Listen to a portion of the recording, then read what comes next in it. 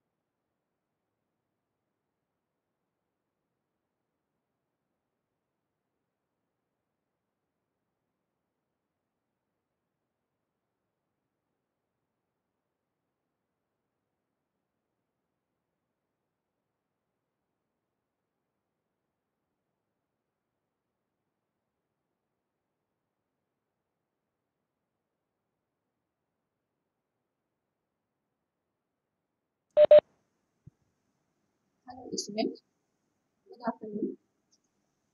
In previous lecture, we have studied or discussed about mathematical modeling. Mathematical modeling is nothing but simply but simply a mathematical equation written for the system. Now next question arises that how can we write mathematical equation for control system? First we draw free body diagram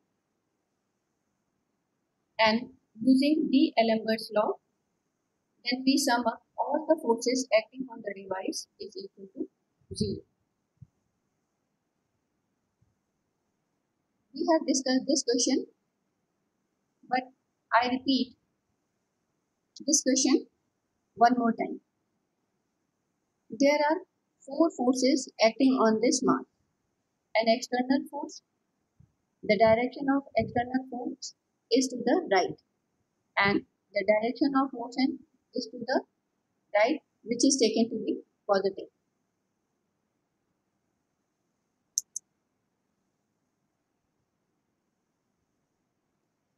Second force, there are four forces. First is external force, second is inertial force, third one is spring force and fourth one is damper force. Direction of external force is to the right while in direction of inertial force is always in opposition to the direction of motion means direction of inertial force is to the left and when this mass moves towards right this spring is compressed and this compressed spring exerts a force on mass m towards left. Similarly, this damper exerts a force on this mass towards the left. So, final free body or complete free body diagram is shown in figure and with this diagram when we sum up all the forces equal to 0 we get this equation.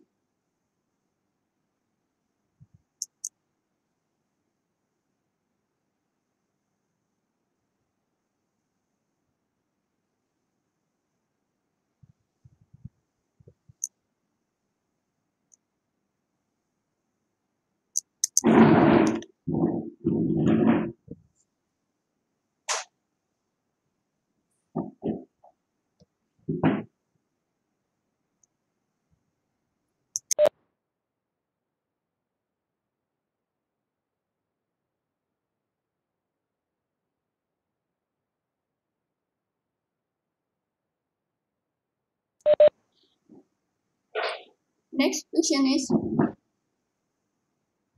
when there is two unknown position. Here there are two unknown position. In this case we need two free body diagram. First free body diagram at x1. At x1. There are five forces acting on this mass m1. An external force Fe force due to this spring K1 force due to frictional force B1 and inertial force F M1 and force due to this spring X K2. Direction of external force is to the right and when this mass moves towards right, this spring is along this spring elongates and this elongated spring applies a force or exerts a force on mass m1 towards right.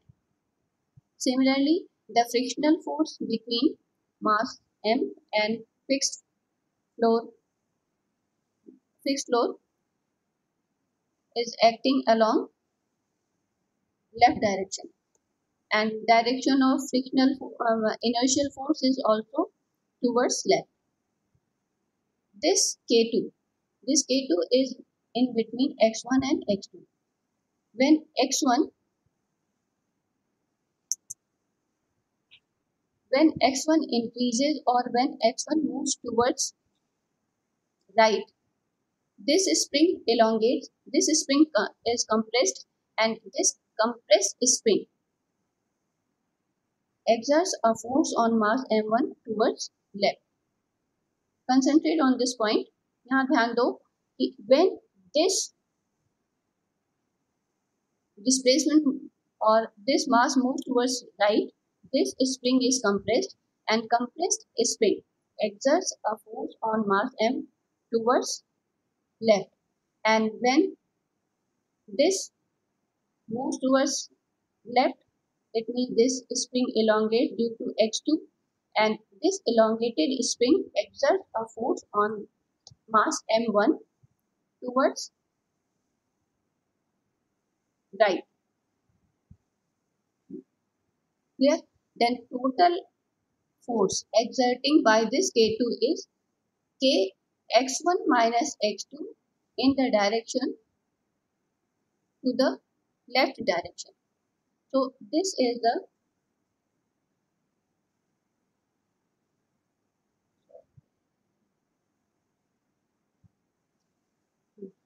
This is the final free body diagram.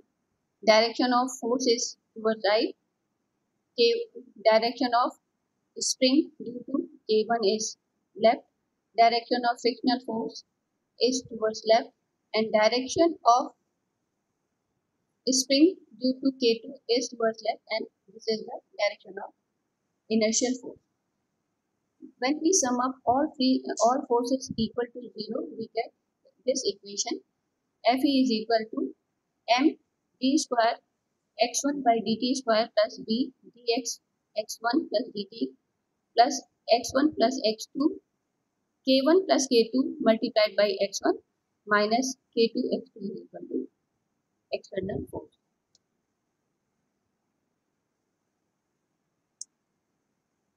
There are three forces acting on this position force due to K3, force due to damper B2 and force due to K2. In this, K3 is connected in between X2 and fixed, fixed floor and damper is also connected between X2 and fixed, fixed floor.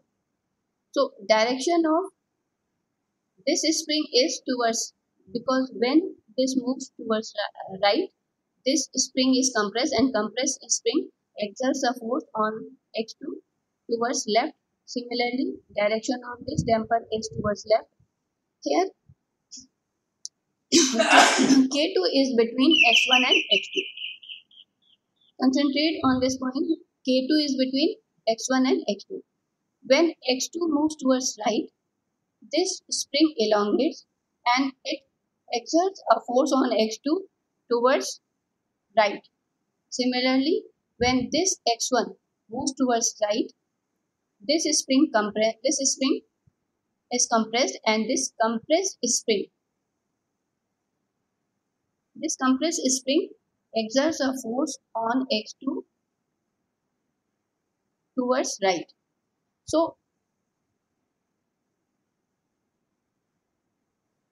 so the resultant force is k2 x1 minus x2 towards right there are three forces force due to K3, force due to damper B2 and force due to spring K2.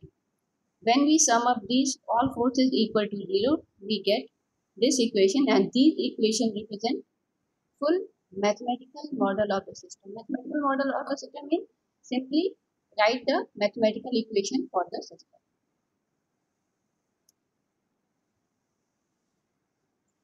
Next is one example based on free body diagram and differential equation. Draw the free body diagram and write the differential equation of mechanical system shown in this figure. Here, there are two displacement x1 and x2. So we have to uh, draw two free body diagram, one for mass m1 and one for mass m2. First we draw free body diagram for mass m1. Here the direction of external force is towards right. So direction of inertial force is towards left and directional direction of spring force is towards left towards right and it is given by k x1 minus x2 as is explained in previous example there is a simple trick. First, we draw the free body diagram for that block on which force is acting. First, you have to block ke free body diagram draw karo, jis pe force jo applied hai. So, yahan pe jo hai tumne M direction of force is towards right. So, direction of inertial force is towards left and direction of spring is also towards left, but x1 minus x2 means x1 यहाँ पे तुम कौन सा लोगे जहाँ पे force apply हो रहा है। तो ये हो गया तुम्हारा first free body diagram and draw the next free body diagram for m2 m2 के लिए क्या होगा?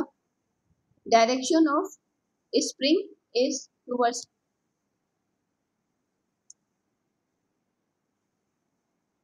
towards right. And it is given by k x1 minus x2 k x1 minus x2 same as in this case but direction is just opposite. And the inertial force direction of inertial and frictional force is always opposite to the direction of motion. Direction of motion is towards right so the direction of inertial force and direction of frictional force is always towards left. So differential equations are these and these are the required differential equations. Next question. Write the differential equation for the mechanical system shown in figure. There are two masses or two displacement m1 and m2. Force is applied on m1. First we draw the free body diagram for mass m1. Direction of force is towards downward. So inertial direction of inertial force is upward. Direction of um, spring force is towards upward and direction of damping force is also towards upward. And this K2 is between y1 and y2.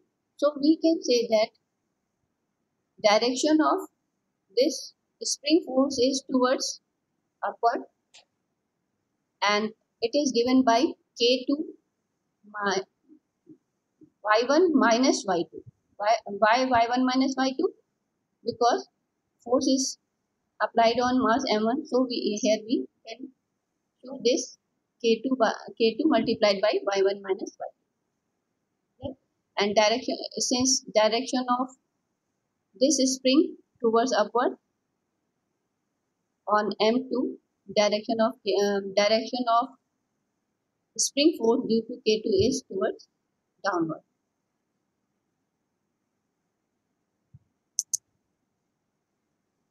And when we draw free body diagram, we easily write differential equation.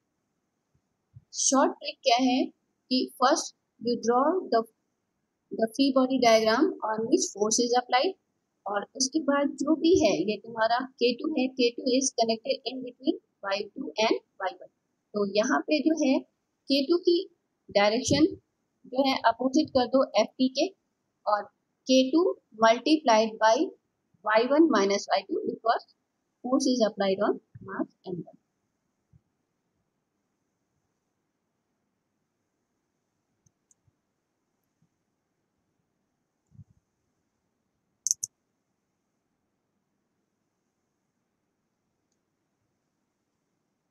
Draw the free body diagram and write the differential equation for mechanical system. Shown in figure.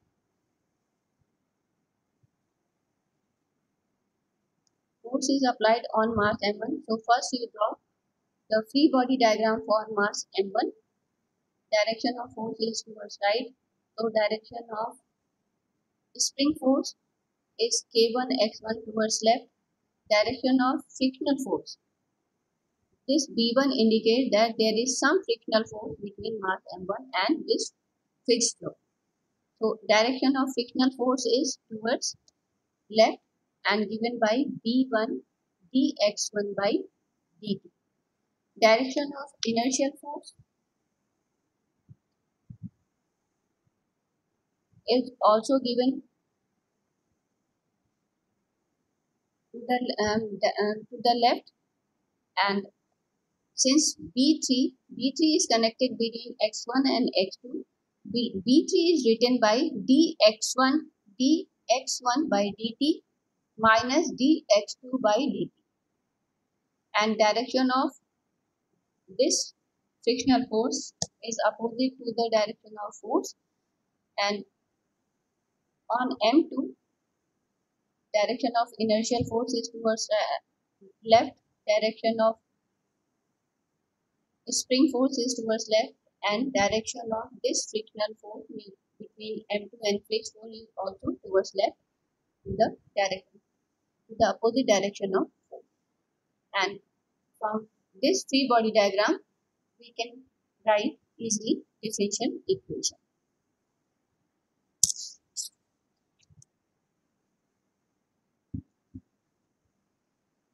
Next question is draw the free body diagram and write the differential equation of mechanical system shown in figure. Here Force is applied on mass m1. Force is applied on mass m1 and displacement is x1. B1 is connected between x1 and x2. A1 is connected between x1 and x2. So, we can say that free body diagram for M1 is equal to direction of force is towards downward. Direction of uh, inertial force is upward. Direction of spring force is toward upward and direction of frictional force is upward. But magnitude is k1 multiplied by x1 minus x2 in this case b1 frictional frictional force is given by or damping force is given by B1 dx1 minus dx2 by dt. d dx1 by dt minus dx2 by dt. Why it is given by x1 minus x2? Because force is applied on mass m1. Clear? And free body diagram for m2 direction of both direction are opposite and direction of frictional force is opposite to the direction of force direction of damping force is opposite to the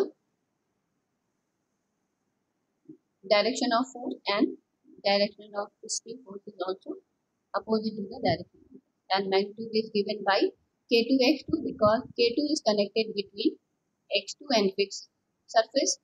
B2 is connected between X2 and fixed surface. And from this free body diagram, we write equation, differential equation 1 and differential equation 2.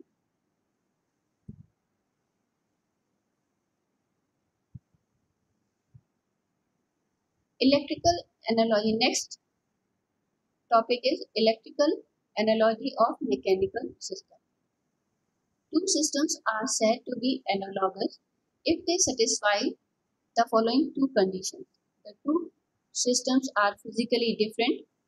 Differential equation modeling of these two systems are same. Means if two systems are physically different and mathematical modeling or mathematical equation of two systems are same, then they are said to be analogous system. Electrical system and mechanical system systems are two different systems, but there are two types of electrical analogy in translational mechanical system, which are force voltage analogy and force current analogy. The force voltage analogy. The mathematical equation of translational mechanical system are compared with the loop equation of electrical system.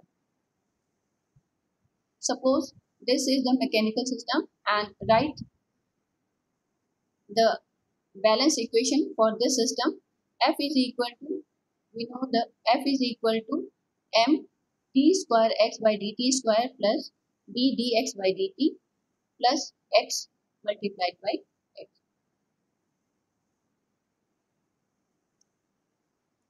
Then we write loop equation for this or we apply Kirchhoff's voltage law to this loop and we get B is equal to Ri B is equal to Ri L di by dt and 1 by, plus 1 by C integration I dt. If we substitute I is equal to dq by dt in this equation we get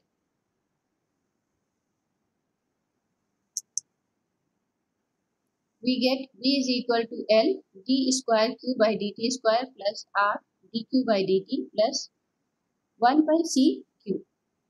And if we compare equation 1 and equation 2, then you will get the analogous quantities of translational system and electrical system.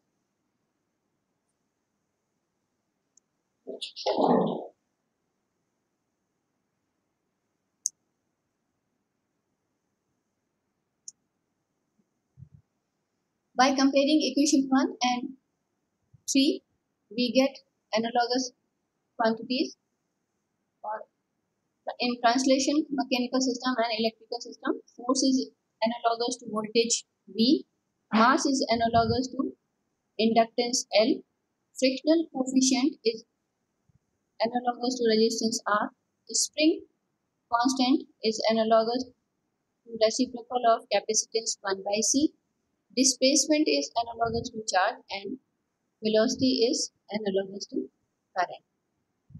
And we, all, we have already discussed the analogy between translational and mechanical system. So we, here we can say that there is analogy between rotational mechanical system, translational mechanical system and electrical system.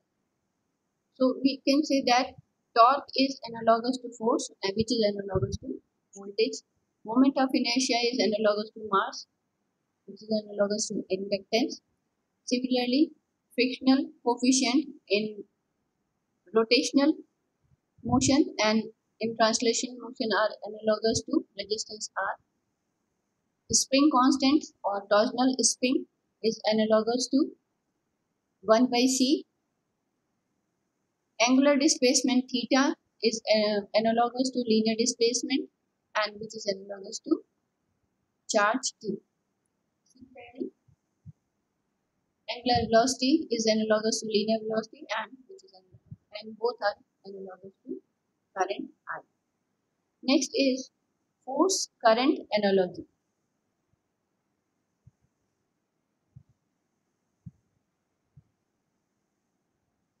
In force current analogy, we write nodal equation here.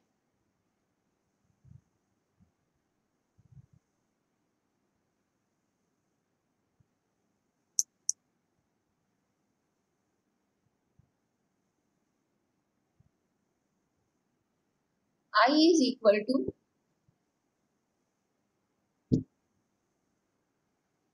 V by R plus 1 by L integration V dt plus C dV by dt.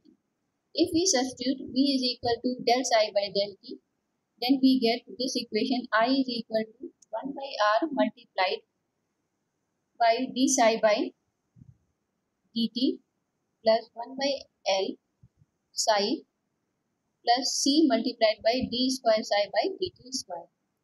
Or I is by rearranging this equation we get equation 6 and if we compare equation 1 and 6 we will get the analogous quantity of translational and electrical system.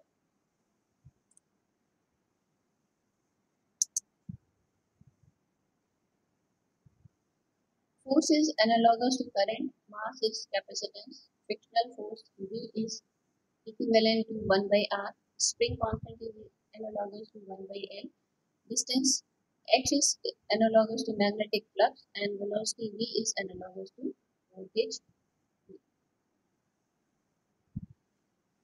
Here we discuss the electrical analogies of mechanical system.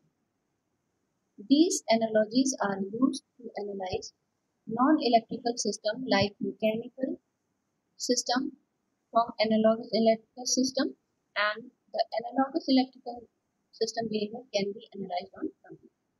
So we can easily analyze the behavior of non-mechanical system or system other than electrical system by using analog analogies on the computer.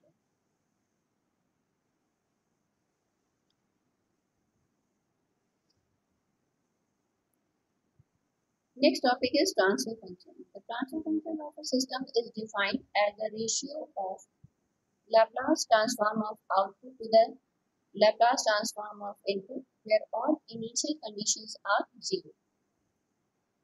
Here input is given to the system and we get some output transfer function.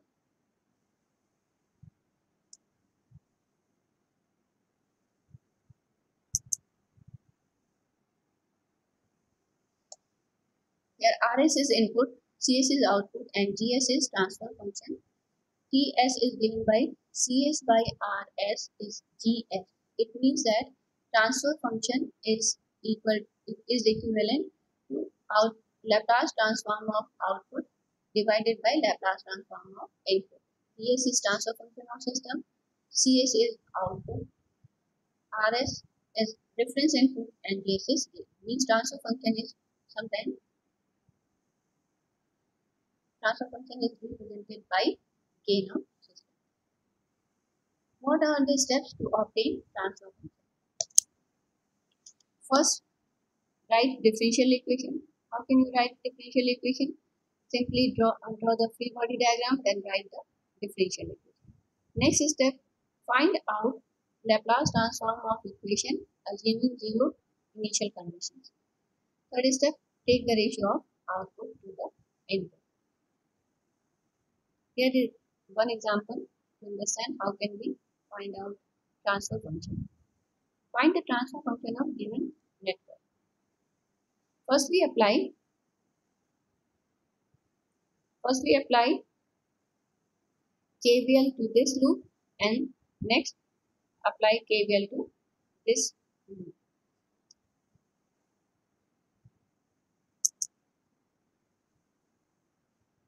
When we apply KVL to first loop, V is equal to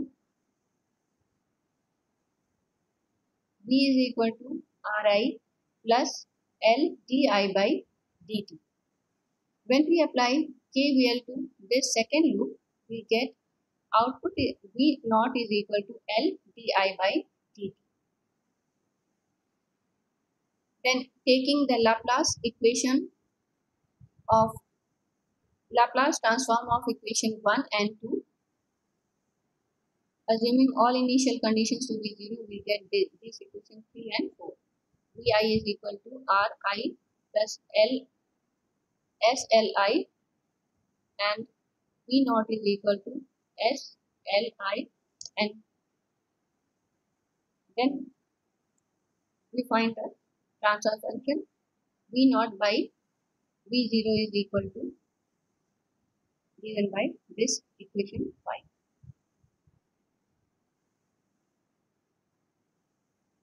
next is example.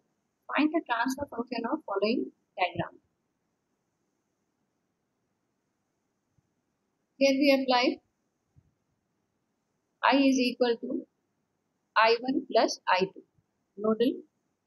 In this node, sum of current, sum of all current is zero, so I is equal to I1 plus I2, and here I1 is V1 minus V2 divided by R1. Apply KVL at node a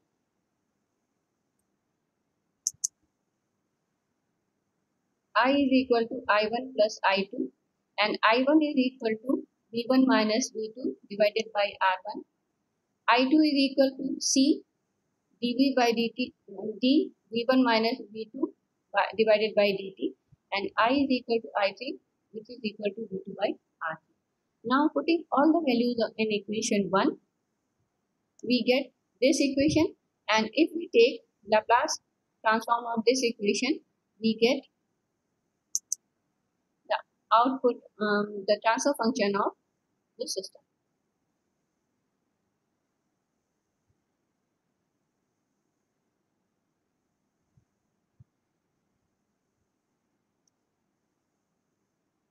see all the steps.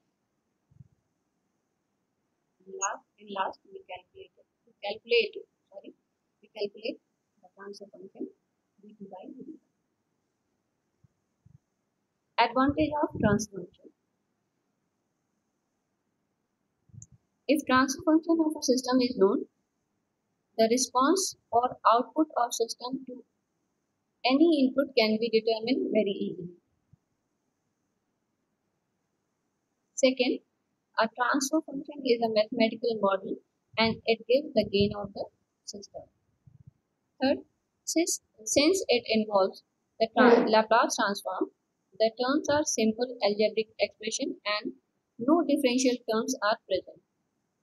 And we can easily calculate roots and zeros of system from the knowledge of transfer function. Disadvantage of uh, transfer function. Transfer function does not take into account the initial conditions because in this in case of transfer function initial conditions are zero the transfer function can be defined only for linear system and no inference can be drawn about the physical behavior of system means system uh, we cannot predict from transfer function that whether this system physical system is mechanical system or whether the system is electrical system.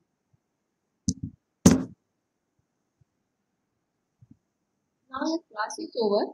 Next class will be as per timetable and if there is any change in the schedule, I will inform you.